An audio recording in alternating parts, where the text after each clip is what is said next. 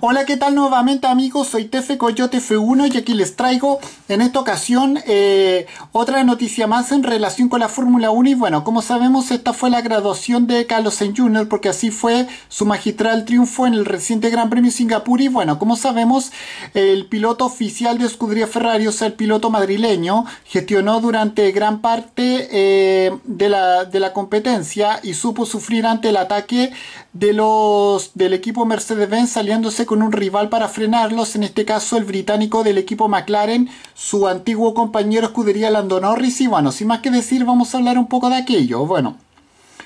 había que estar en ese momento el día en que Red Bull Racing fallase y nadie eh, pensaba que en el reciente Gran Premio Singapur un trazado en el que el conjunto de las bebidas energéticas tuvo numeroso éxito iba a ser su primer tropiezo este año bueno, fue Scuderia Ferrari quien recogió los frutos, algo que sorprendió y no, y no poco a los integrantes del conjunto rojo. Antes de que empezara a rodar, a rodar eh, se descartaban de, la lucha por el triunfo, bueno. Pero Red Bull Racing no estuvo a la altura de lo esperado y ahí estaba Scuderia Ferrari en el que siendo el piloto revelación el piloto eh, el piloto madrileño Carlos Sainz Jr., que ya desde, el Gran Premio de Países Bajos parece estar en el eh, coche eh, más en la mano de su compañero escudería Charles Leclerc, que estuvo por delante de manera sistemática en el comienzo de la temporada. Y bueno, Carlos maximizó oportunidades con una competencia notable en el reciente Gran Premio Monza, donde sus ansias lograr el mejor resultado posible casi le dejan sin ninguna presencia en el podio y realizó un Gran Premio difícilmente mejorable en, el, en Singapur, siendo el más rápido en dos en dos sesiones de entrenamiento libre, llevándose la pole position y liderando todas y cada una de las vueltas de la competencia. Y bueno, como sabemos, Singapur empezó como suele hacerlo, una competencia que sin factores extremos eh, externos es completamente anodina y bueno, los pilotos eh, no, no, quisieron desgastar los neumáticos, así que el ritmo de competencia fue soño soñoliento y bueno. Y para más Inri, la única eh, parada prevista tuvo lugar bajo un auto seguridad lo que eh, siempre resta algo de emoción hasta aquel punto el piloto madrileño o sea Carlos Sainz Jr. Eh, lo hizo hizo lo que tuvo que hacer marcando los tiempos y no cometiendo ningún error eh, que invitara a algún rival a lanzar el, monoplaza y bueno, pero no iba a ser una competencia tranquila pese a estar pegado al piloto al piloto español oriundo Madrid, el equipo Mercedes decidió apostarlo todo por la lucha por el triunfo, aprovechando un, eh, un coche de seguridad virtual en la vuelta en el giro número 3462 para realizar una doble parada en montar un neumático medio nuevo que se había guardado por esta probabilidad y bueno.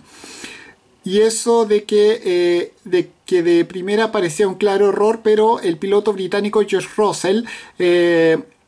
eh, regresó a la pista a 14 segundos del piloto madrileño. Eh, con apenas 17 giros por delante y bueno, pero el ritmo que marcó por aquel entonces que marcó por aquel entonces el monoplaza del equipo Mercedes-Benz fue verdaderamente endiablado, evidenciándose que sí se podía llegar a final de competencia con las gomas duras, pero no sin sufrir y Sainz incrementó el ritmo todo lo que pudo, pero fue insuficiente para evitar ser atrapado por los del equipo Mercedes. Y bueno, en este punto fue donde Sainz marcó la diferencia con otros. Eh, eh, eh, con otros pilotos y bueno, lo fácil, lo intuitivo hubiera sido eh, ir eh, tan rápido como fuese eh, posible, aprovechando que Russell todavía debía adelantar tanto a Charles Leclerc como a Lando Norris. Y bueno, pero Sainz optó por otra estrategia. El piloto español oriundo de Madrid pidió a su equipo que le informara en todo momento de la diferencia con el británico Lando Norris. Y bueno, miedo a este piloto inglés, todo lo contrario. Sainz quería usar a Norris como escudo, o sea, su ex compañero equipo consciente de que, de que dándole DRS, eh, Russell eh, tendría más,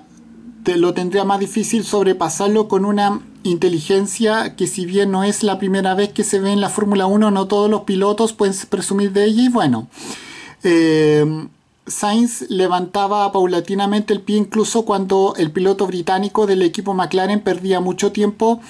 por sus trazadas defensivas, un rival aliado en un, en un, objetivo común que no pudo tener un resultado mejor para las dos partes. Y bueno, como sabemos, el piloto español oriundo de Madrid, o sea, Carlos Sainz Jr., se llevó la victoria.